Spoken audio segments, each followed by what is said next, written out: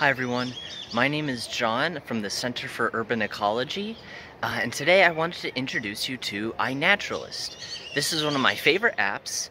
It is a free nature app that helps you identify the life around you.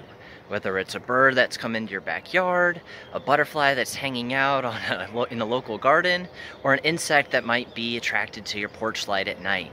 Um, so today we're going to briefly show you how to add an observation using the app um, here at Quinta Mazatlan World Birding Center.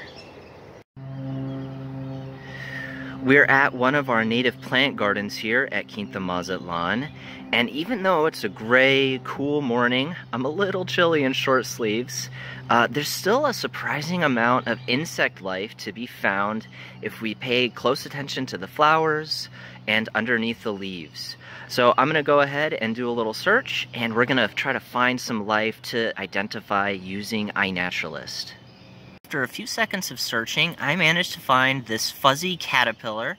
This is probably some kind of moth. So you are our model, buddy. Hang in there. I've got the iNaturalist app open now on my Android system phone. And to add an observation, I'm going to hit that green plus sign in the lower right. And I'm going to take a photo. So I'm going to get nice and close to our caterpillar friend here. Bring it into focus, and boom. Okay, that seems like a pretty good photo, so we're going to go with it. But if we didn't like the photo, we could hit retry and take another one.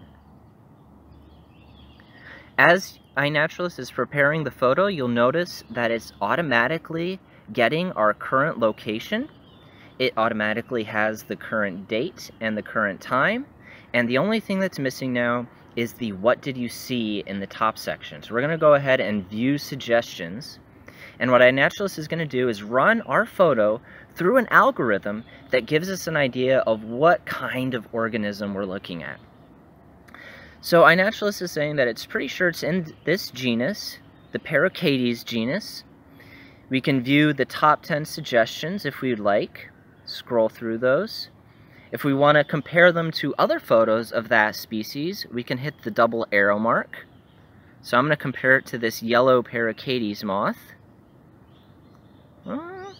That seems like a pretty good match so we're going to go ahead and select the yellow Paracades moth by hitting the check mark. And then we're going to hit the check mark in the upper right. And iNaturalist is going to upload it.